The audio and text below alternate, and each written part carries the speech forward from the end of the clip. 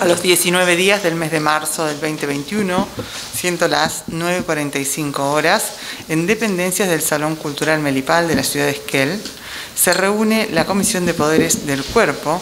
En la misma se encuentran presentes las concejales Valeria Saunders, Karina Otero y María Martínez, con el fin de analizar los diplomas del concejal electo Matías Pablo Peláez, del análisis surge la aprobación de los mismos, estableciéndose que no existen objeciones a título ni incompatibilidades para que asuma su banca. Sin más, se da por concluida la reunión de la Comisión de Poderes, remitiéndose a la Presidencia del Cuerpo una copia de la presente acta. Firmado Saunders Otero Martínez. A continuación, le pediremos al concejal Peláez que pase para tomarle juramento.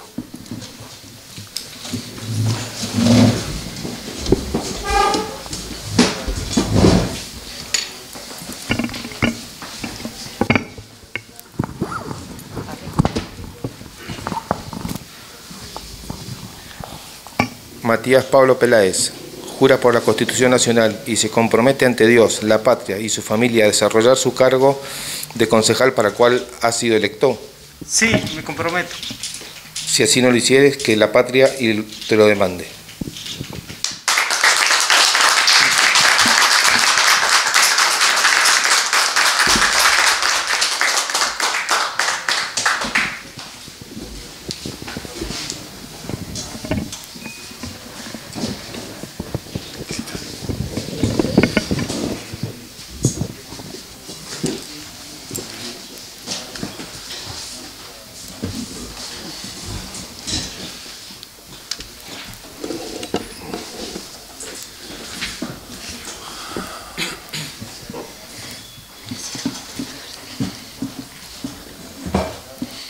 A continuación daremos paso al punto 3, hora de preferencia. Eh, concejal Peláez.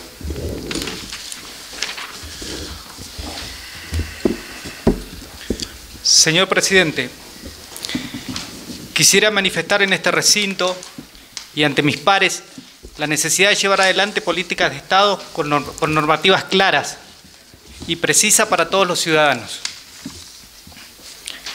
que no dejen en, una nebulosa temas trascendentales para el correcto desarrollo de la ciudad y para la vida democrática del Estado, en este caso municipal.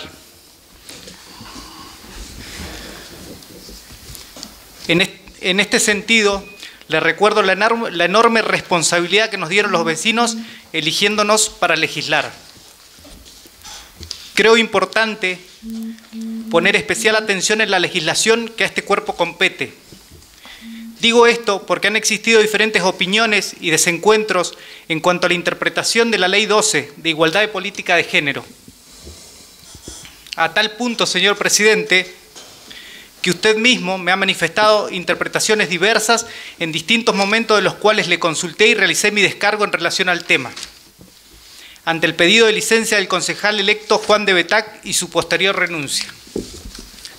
Ante esta falta de claridad en la interpretación de la ley y ante la necesidad de responder a la representatividad que el voto popular nos ha otorgado, desde el Partido Justicialista hicimos un acuerdo partidario, solicitando además opinión del órgano competente, el Tribunal Electoral Provincial.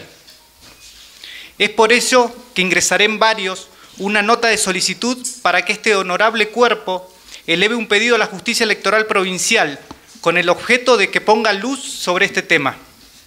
Señor Presidente, si no podemos poner claridad sobre temas competentes a nosotros, los concejales, y a la legitimidad otorgada, ¿cómo vamos a legislar correctamente para nuestros vecinos?